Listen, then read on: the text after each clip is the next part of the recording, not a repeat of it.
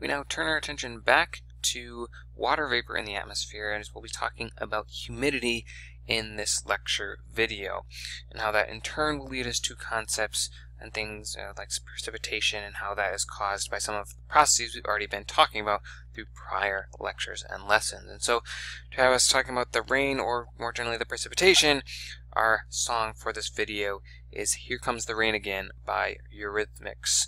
So we can see this uh, you know, fog in the background, and we're talking again about how that's tied to our humidity concepts and more generally uh, precipitation as we move forward. Now, also a note, I want to quickly quip from one of my favorite shows, Futurama here, in the sense that so far we've generally been talking conceptually about most of these things. We uh, and really that will be the main emphasis on things like exams as well. Um, but in some of the assignments you'll be working on this week, you will be uh, forced more into solving for some particular math equation. So to quip here, I'm afraid that we are going to have to use math. So it, what I really want to emphasize, though, before we get uh, too deep into that, is in, in possibly scare some of you, is simply just to note once again, that as I emphasized early on in this class, again, I'm I want us to focus on the conceptualization uh, of these concepts. You know, can you generally con understand them at a conceptual level, not necessarily solving complex math equations.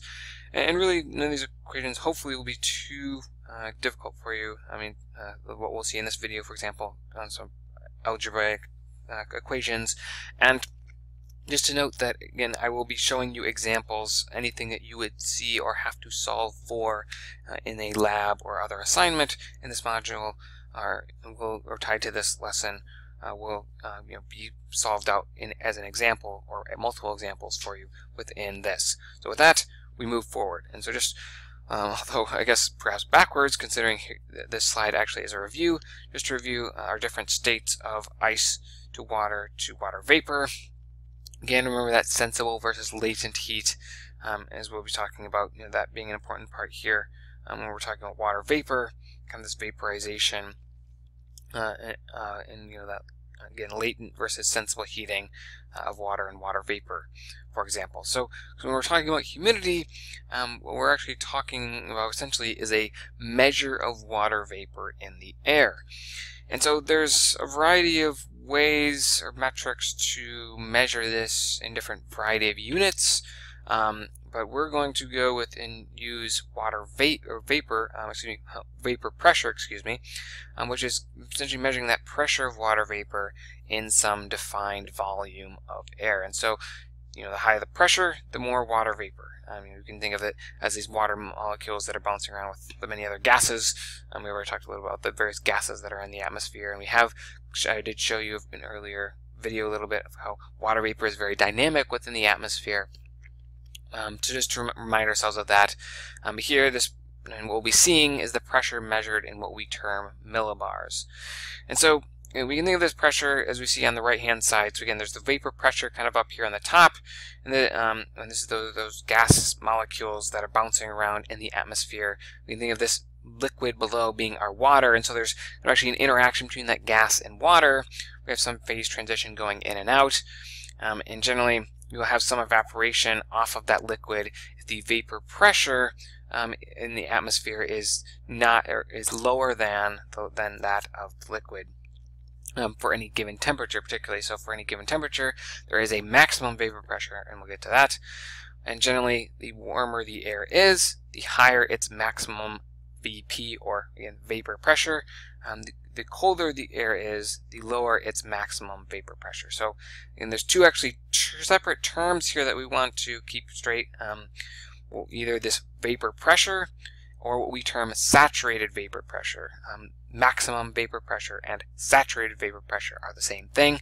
Um, again, that's the saturated vapor pressure or maximum pressure um, of water vapor at a given temperature is, is denoted actually by this graph here.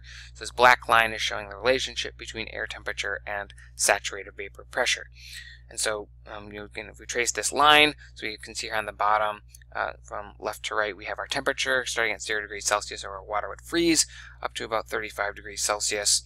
Um, most of the range of temperatures we're generally going to be seeing on uh, Earth's uh, surface and atmosphere um, where humans generally reside. And then we can see our vapor pressure on the vertical axis in millibars. And again, that uh, black line tracing the maximum vapor pressure or saturated vapor pressure. So really anything below it here could exist, as we'll get to in these coming slides. Um, and that's going to be where we have less actual vapor pressure in the air than we have um, that saturated vapor pressure that or that maximum. So again, we can't really have anything up above this black line. because That would mean there was more vapor pressure in the air um, than is allowed by saturated. Um, I mean, if we actually really want to get into detail, there's certain cases where that could happen or does happen. Um, that's kind of advanced, a little bit beyond what we're going to be talking about in this class. But um, just to don't generally, we're going to be dealing with anything below that line, as we can see in our first example here. Because again, once more time, just to know there's two factors to account for here. There's the vapor pressure, and that is the amount of water vapor in the air, and there's the saturated vapor pressure, or that is the maximum water vapor that can be held at a given temperature. So, let's start with an example. An air mass at 26.5 degrees Celsius that has a water, or excuse me, a vapor pressure of 15 millibars. So we can see that uh, by the red dashed line and the red dot on now that I've placed on our graph to the right. We can see that we have our temperature here at 26.5 degrees. We trace that up. Um, and we can see that I've placed a dot here well, how, how much vapor pressure is actually measured in the air. That is that 15 millibars. Again, if we trace uh, laterally here, we would reach that 15 over here. And so we can note that the saturation vapor pressure at this temperature, again, is if we trace all the way up on our line, we can see that that here intersects at about 35 millibars. Right? So we have now determined a few things. We have our air temperature, we have our vapor pressure, and we've determined from this graph our saturation vapor pressure. And these are going to be important because this helps us determine what we term relative humidity. And this is usually what you hear if you hear about a humidity percentage being reported or you know how humid it is there's actually usually what you're hearing um, in any sort of weather report but this actually refers to the ratio of the amount of water vapor in the air so again that vapor pressure versus essentially that how much uh, it, there can be or that maximum vapor pressure um, so this is always going to be expressed as a percent so to calculate it we simply just take 1 divided by the other. We take that vapor pressure and divide it by that saturated vapor pressure. And so we can see that here on the bottom.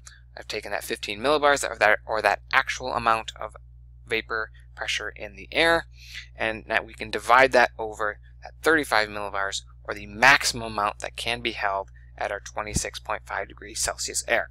And so when we do that, we uh, again get this is, that is equal to about 0.43, uh, in decimal form, or we multiply that by 100, 43% uh, for our relative humidity. So our air is at 26.5 degrees Celsius in this case, with a present vapor pressure of 15 millibars, is a little bit less than half, or again, that 43% is a little bit half than 50% of its maximum capacity to hold, which again is 35 millibars, is what relative humidity is telling us there.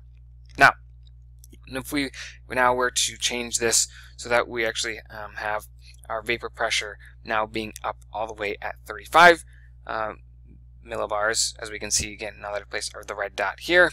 So we have shifted our vapor pressure from 15 millibars up to 35 millibars. Again, our saturation vapor pressure is also 35 millibars. Now if we go through all that same process, calculate the relative humidity, again 35 uh, actual amount in the air over 35 uh, um, is the maximum amount, um, then we get 1 or 100%. So again, 35 actual over 35 maximum gives us that 1 uh, or 100% if we multiply that by 100. Or, and so now we are you know, have the same amount uh, in the air as that can be held.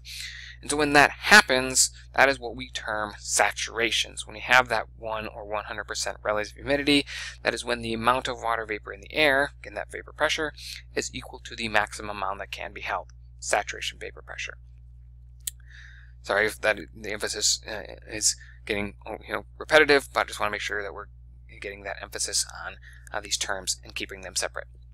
So, um, note that so in that example that I just showed you when walking through, there the you know one way we have to reach saturation is to simply add vapor pressure until uh, that vapor pressure and saturation vapor pressure become equal. And so this would happen in a case, for example, um, most often over the oceans. We have water being evaporated off of oceans or other large bodies of water by sunlight, you know, essentially incoming solar radiation or other energy um, that is, you know, warming up that water, and or you know, the, simply the simply the vapor pressure of the air is not equal to, um, or you know, is is lower than that vapor pressure, uh, or that vapor or that pressure of the water um, surface.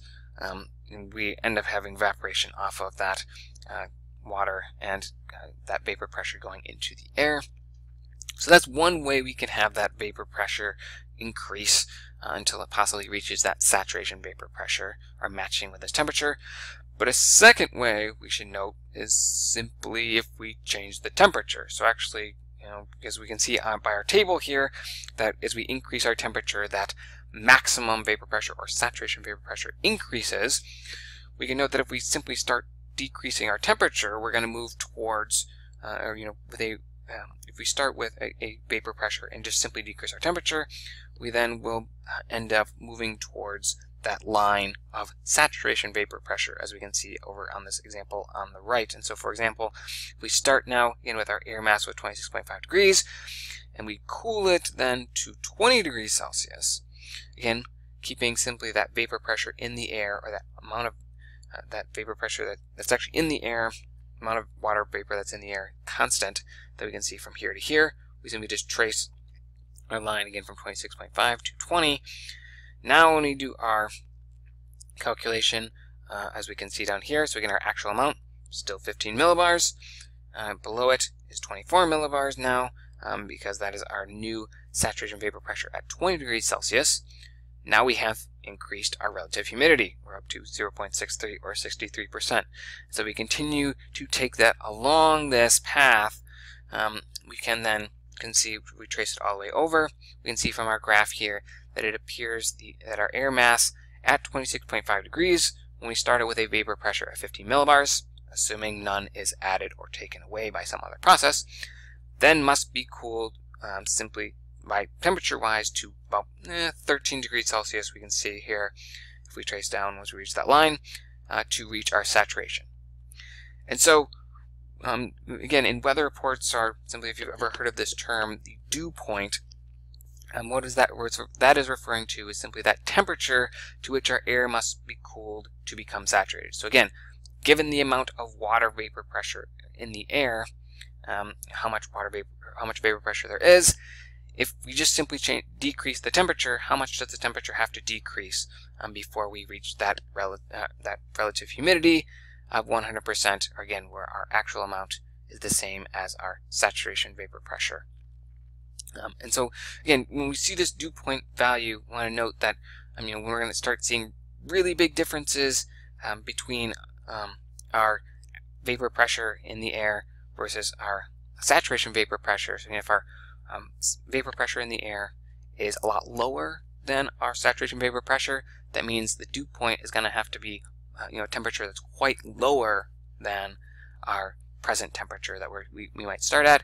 But if you know we have a, a set or a vapor pressure that's almost uh, as low, or excuse me, almost as high, excuse me, uh, either way, uh, as our saturation vapor pressure, you know, if those two numbers are very close to each other, then we know that the temperature doesn't have to cool very much at all before we reach that saturation point. So again, all this to say that the second way to reach our saturation in this in, in a way is lowering the temperature until again our vapor pressure and saturation vapor pressure become equal values. So just showing that out in kind of a visual here, um, you know, again, noting what our dew point is. And so noting, because really once we reach that saturation point, that is when we start to see condensation. And that is when we see things like precipitation. So, and this is also tied to, also, um, if you ever go out probably frequently in the morning, you see dew on the grass. Um, you know, when we have our precipitation events, what we see, we have occurring in this case, is if we track from left to right here, again, simply thinking from warmer temperatures on the left to colder temp colder temperatures on the right.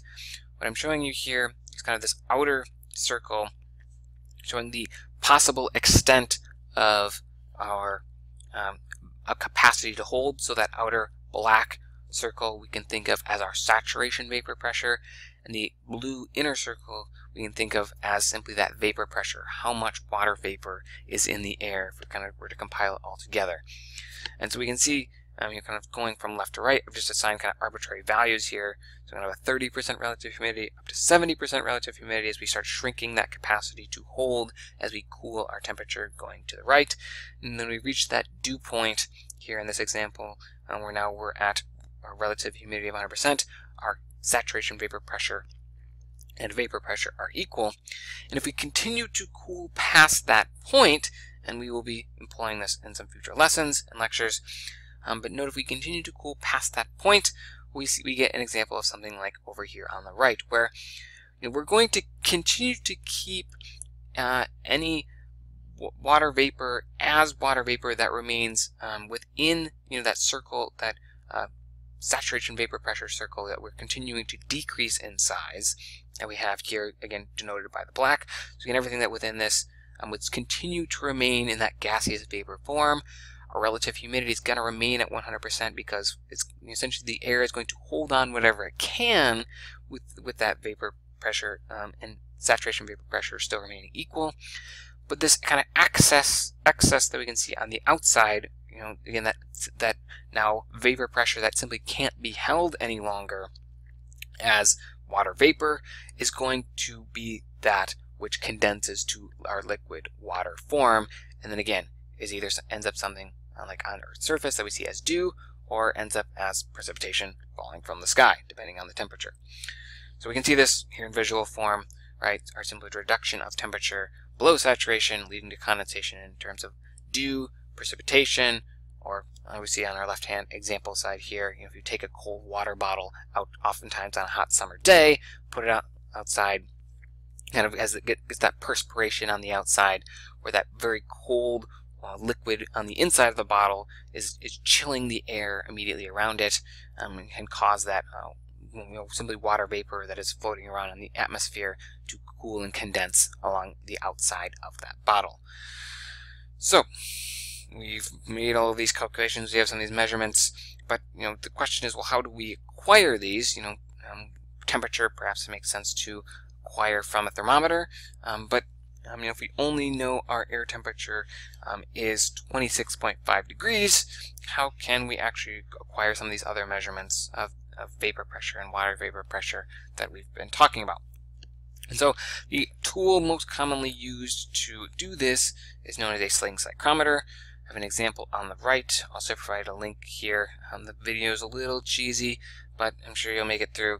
Um, and again, just kind of get the main core aspects of what a sling psychrometer is out of it. Um, but you know the whole idea here is that um, with this example on the right, there are two bulbs or thermometers um, within this sling psychrometer, and both bulbs start at the same air temperature, but you put water on one of those bulbs known as the wet bulb. It has a little wick on the end of it here. It's kind of hard to see in this example, but it has a wick that kind of soaks up water, soaks up moisture when you put some water on it. And simply once, you put water on that, you swing the uh, sling psychrometer around. And as the sling psychrometer is swung around for 30 seconds, a minute, a couple minutes at most, um, essentially if that surrounding air is below saturation, then some of that water on the wet bulb should evaporate or will evaporate into the air. And this happens because, again, there's that pressure differential between the wet bulb and the surrounding air. Um, so the air pressure, uh, the air, the, me, the vapor, the water vapor pressure in the air, if it is less than that liquid, um, will, you will have some of that evaporation uh, off of the liquid that wetted the wet bulb into the air.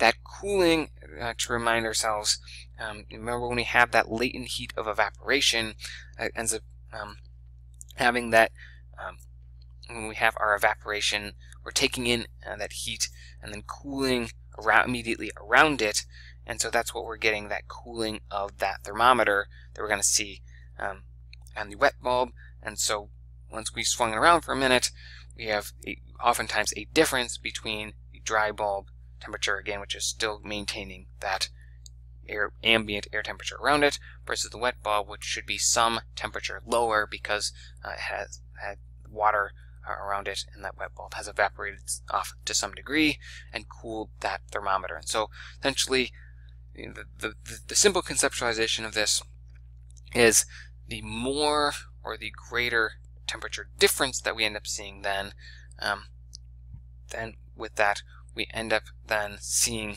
um, a lower relative humidity oftentimes. And that's what we can see from this table here. And so you'll be actually working through a little bit example of this. Essentially with our dry bulb temperature, excuse me, dry bulb air temperature versus wet bulb temperature, um, we term this the dry bulb depression, excuse me, um, where our dry bulb temperature is subtracted from the wet bulb temperature. So just for an example, if you had 26.5 degrees to start, um, and afterwards you swing the sling psychrometer if the wet bulb shows now an 18 degrees Celsius temperature, you would subtract the uh, dry bulb temperature from the wet bulb temperature. You get that wet bulb depression difference of 8.5 degrees Celsius. So then you would go to consult this relative humidity table. We're on the horizontal axis here across the top you have your wet bulb depression value, so we can find our 8.5 degrees Celsius here, and start tracing down to match our beginning temperature, or that dry bulb temperature, at about 26.5 degrees that we can see here. And we, those two meet, as we can see by our arrows that I have drawn here, we get to a point that's oh, about 43% within right here. Uh, so again, that tells us that we have about 43% relative humidity. And so, uh, starting with that value, um, you want to actually note that we can also then back calculate and get some of those other values that we were interested in uh, and things like dew point. Because if we know our um, 43 uh, percent relative humidity, and again we know that our air started at 26.5 degrees Celsius, we then know kind of inverse, um, either using this saturation vapor pressure table or coming back to the graph that we started with, you know, if we go to 26.5 degrees Celsius and trace up, well, again, remember that saturation vapor pressure we know was 35 millibars. And so because we know that, and we know that what our saturation vapor pressure is, or that maximum that can be held, and we know the percentage, or you know, that relative humidity value, we can actually figure out how much is presently in the air if we didn't know. Um, and so we can calculate that vapor pressure or amount of water vapor pressure in the air by um, multiplying, in this case we can see um, by 35 on each side, so essentially cancels out our denominator here, so again whatever our value in this case would be, you know, if it, whatever, it doesn't have to be 35 as an example, but in this case 35 for our maximum amount, you know, 35 times 35 on this right hand side cancel these out, and then we multiply our 35 by our 0.43 over here, and that means then in our algebraic equation our x, or that actual amount of uh, vapor pressure in the air, ends up being 15 millibars. So we're right back to where we started uh, with our beginning example. So again, we might change up the values here that you'll be working with, but you know, hopefully you can follow these steps through with uh, these calculations. So um, even from that, once again, we can uh, then go to find our dew point, because once we know our vapor pressure is 15 millibars. We know, well, we simply can trace over uh, vertic or excuse me, uh, horizontally until we meet our saturation vapor pressure line for our present uh, vapor pressure that's within the air. And so we trace over until we hit our line, trace down. Once again, our dew point uh, is 13 degrees Celsius. Because really what we're saying here is, again, given the amount of water vapor that's in the air, 15 millibars in this example, at for dew point, what air temperature must we cool to to reach that saturation vapor pressure. So, once again, you'll be seeing some of this in Lab 4. Um, normally, in an in-person class, we would have you actually out collecting measurements with the sling psychrometers, but of course, we don't really have that uh, ability to do so for our online class. So you'll be provided with some measurements, or I'll be having you consult maps for some uh, average uh, measurements. And we'll see that one of those example type of maps in, in the slider too. But again, you'll be calculating some of these, um, going through some of these calculations that we just walked through.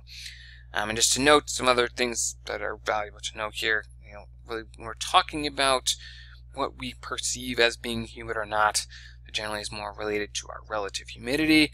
And um, to note that some of the examples that I'll be walking you through and kind of wanting you to work and conceptualize around, what I'm curious is, you know, why, given um, some of these measurements that you'll be provided or measure that you'll be doing the measuring for, why are they average for their condition or you know, the seasons that they will be representative for?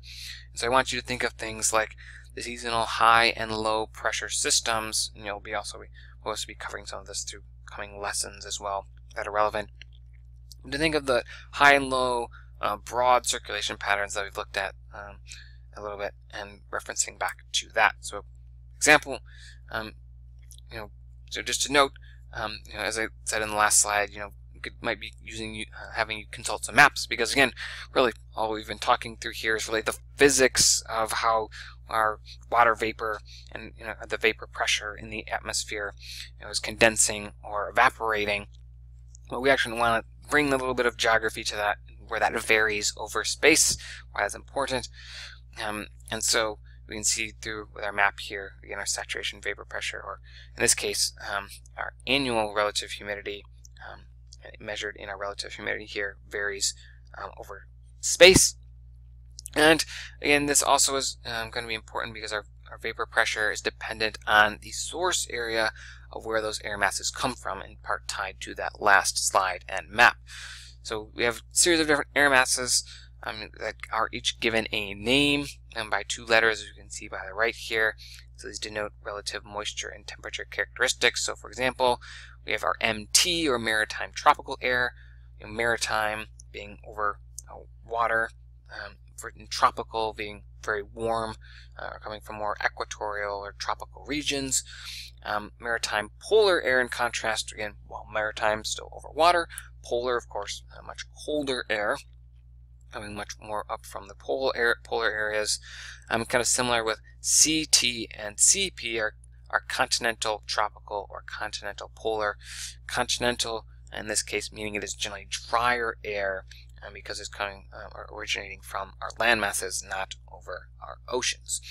And see why we'll see why all this is important as we continue to move forward in some lessons and talking about things like clouds, uh, lifting mechanisms, the jet stream, and talking about severe weather.